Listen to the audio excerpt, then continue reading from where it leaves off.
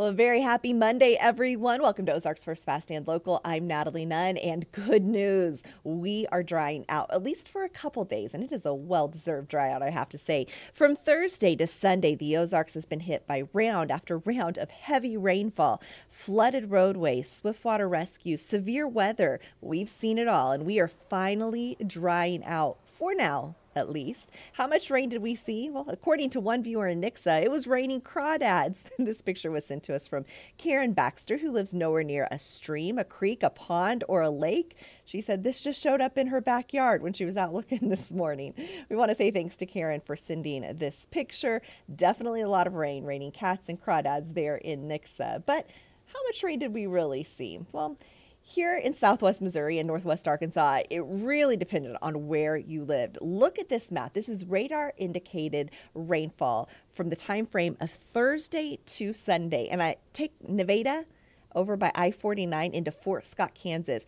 On some radar indicated indications, it's actually showing up to 18 inches of rain. I mean, that is significant rainfall in that area. In Springfield, we're closer to six inches for that final week of April, four and a half showing up there. We've got West Plains. Look at this, though they saw about an inch and a half. So there's a big difference of rainfall across the area, all dependent on where you live. Let's go ahead and see Springfield. I wanted to show you this because for the month, we received 7.42 inches. Normal would be 4.32. So we were over three inches ahead when it came down to it. But for the year, up until yesterday, we were well behind. We finally made it out of drought like conditions, I think, over this past week. But now from January 1st till the end of April, we've seen 13.16 inches.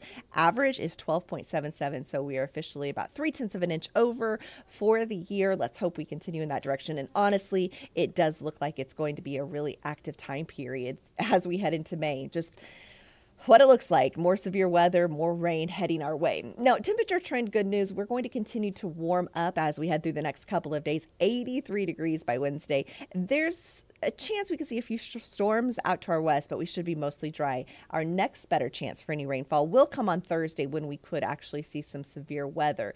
Thursday into the weekend, we will see the rainfall totals, and unfortunately, looks like we could see quite a bit. This is backed off a little bit, but places like Stockton, where they saw the heaviest of rain this last time, could see anywhere from an inch and a half to three inches. So we will watch that closely as we head through the next couple of days.